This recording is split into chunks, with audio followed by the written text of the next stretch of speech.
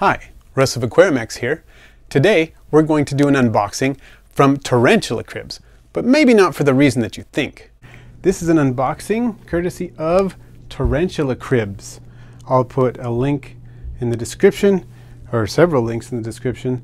They've got a website, they've got Instagram, and so on, and they make some really cool enclosures. Now, those of you who have seen a lot of my videos will know that I can't keep tarantulas. It's not that they're illegal or anything in my area. It's just that my, my wife has specifically requested that I not keep tarantulas. And I'd rather keep her happy than uh, try to keep tarantulas. So these enclosures, even though they are originally intended for tarantulas, when, when I saw them, uh, I saw them on the Tarantula Collective's one of his unboxings and I thought these look absolutely fantastic for a variety of invertebrates that I keep. And so I'm really excited to check these out and try them out with some of the species that I keep that are not tarantulas, but that would do very, very well. As you can see, they've packed these separately in this box. Safest way to do it, of course. And I'm really, really excited about these. I'm not even sure which one to open first. This is so cool. So here is what appears to be the smallest one that's coming.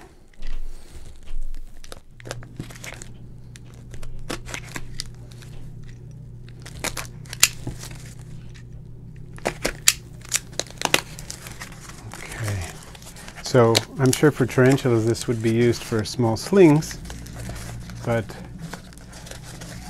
I could use it for jumping spider slings, for example, I'm sure, something like that. Let's take a look. Oh yeah. See, I love that the the holes in here that are drilled, precision drilled, they look really nice, providing a lot of good cross ventilation. And one of my favorite things about these, look at this, it's got a magnetic closure on there magnets on both sides and it just snaps right into place. Very cool. So you don't have to worry about you know jarring it loose or anything like that under any normal circumstances. This lid is going to stay there and uh, keep your invertebrates where you want them. I could also see using this for a very young mantis or you know a lot of different possibilities. Really good clarity on this and there's top ventilation as you can see as well as side ventilation.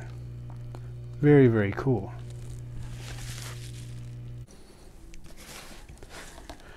And here's another container that's quite a bit larger than the one I just opened. So let's, let's check this one out.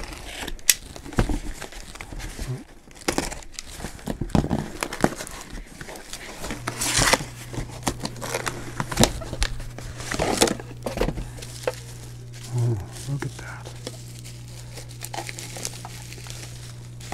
Let's see, let's get that tape loose here. Let's see this one.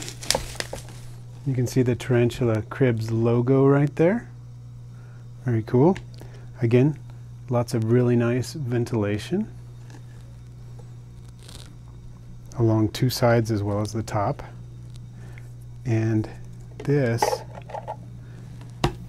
is a sliding enclosure or sliding lid, but it still has magnets to make sure it's secure. They just kind of click into place right there with the magnets. And you can see there's really no gap there. So as long as it's something that can't get through these holes, it's really not got a not got a chance at getting out.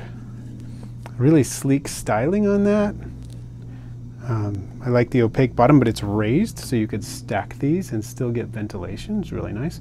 Got these corners rendering it stackable. Very cool. So again, a lot of possibilities for an enclosure this size. You could do small desert darkling beetles in here. You could do a slightly larger mantis. You could do isopods. This would be great for a small starter culture of isopods. If you wanted it to, uh, you know, be a display enclosure, you could do something like that. for a while until the culture got too big. So very, very cool. Beautiful enclosure.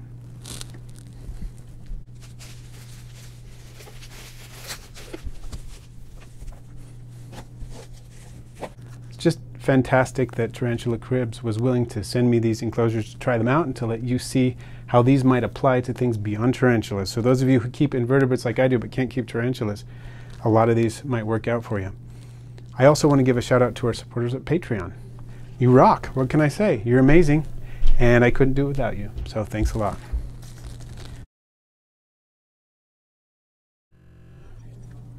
So this one, let's see. It's kind of fun, the gradual uh, increase in size with each one. Sorry everyone. I unexpectedly ran out of space on my iPad and so I had to delete a few things before we continued. Here we go. Let's open this one up. Get a good look at it here. See if I can preserve most of the bubble wrap for reuse a little bit here. Reduce, reuse, recycle, right?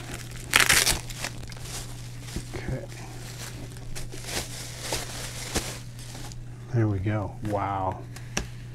And once again, this has these wonderful magnetic closures here. So you can slide the lid off and then these magnets slip right into place. Nice ventilation on the sides and on the top. Opaque bottom and the Tarantula Cribs logo here. Once again, this would be fantastic for a smaller culture of isopods. You could really get it going in this container, being able to see it really well with some of the more day active uh, species like uh, Porcellionides pruinosus, for example, something like that. Get them really going in this smaller container. And you'd eventually want to move them out, but this would be fabulous for something like that, as well as many other isopod species, of course, and lots of other invertebrates. All right, time to open the largest and the last enclosure.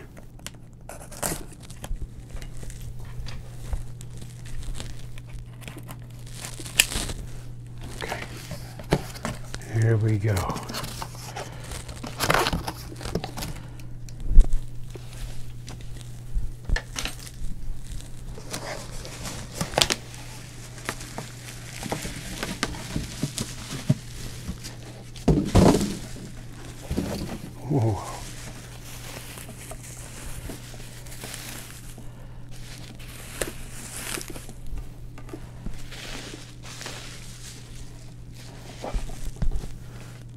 Look at that.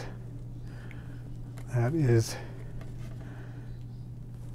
a really nice size enclosure. There's a lot you could do with that.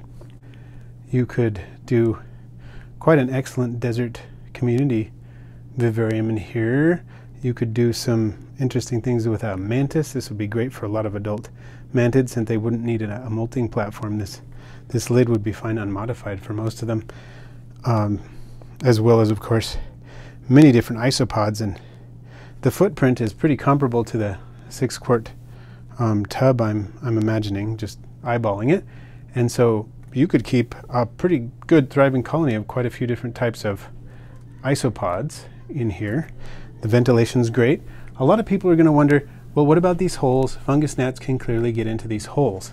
Well, that may be true, but what I have been noticing uh, in my experience with uh, the fungus gnats and well ventilated enclosures is the better ventilated they are, the fewer issues there are with fungus gnats. So I'm definitely going to try this out with some isopods and let you know how it goes. It didn't take me long to decide which isopods I was going to try out in these enclosures. So let me show you. The smallest enclosure is really not uh, a good fit for isopods. I think it'll be absolutely excellent for a very young mantis. I just need to make sure I have a proper molting platform in there and put in some substrate and it'll be good to go. The second size up, this one here, is perfect for my small rubber ducky colony. I had it in a container that was probably about half this size in terms of effective space that the isopods could use. And decided that now that the colony is growing, it's time to move up a little bit. But because this uh, enclosure is so easy to see into, I'll be able to keep tabs on them. And I think this will be fantastic. It provides enough ventilation without providing too much so that the rubber duckies can have it how they like it, nice and moist. I decided to put some Porcellionides pruinosus Oreo crumbles in this enclosure here because I think it will display them very nicely. They are a pretty active species. They're out and about during the day. Light doesn't seem to bother them a whole lot. And so why not take advantage of the excellent display qualities of this enclosure with something that will be active and running around, just like you can see one or two of them doing now. So uh, because this species is very prolific, I will have to move them out to a larger container as they reproduce, but that's just fine. In the meantime, I think this will be a great way for me to monitor their population and enjoy this active species. For the largest of the tarantula cribs enclosures, I decided to go with milkbacks. Milkbacks are a lot like dairy cows in that they tend to be pretty day active and less perturbed by light than a lot of other isopods. And so I think this will be a, a great fit and really take advantage of the uh, excellent display qualities that this enclosure offers. As you can see, there are a lot of them wandering around right now. And uh, so I think it's going to be great. I will have to move them out periodically because they breed quickly, so I'll, I'll thin the herd once in a while. But this is really, really going to turn out nicely, I think. Thanks for watching today. I post videos every Tuesday now and Friday, all on aquarium and vivarium pets. Please feel free to share, rate, comment, and if you haven't already, subscribe. And then click the bell icon so you don't miss my next video.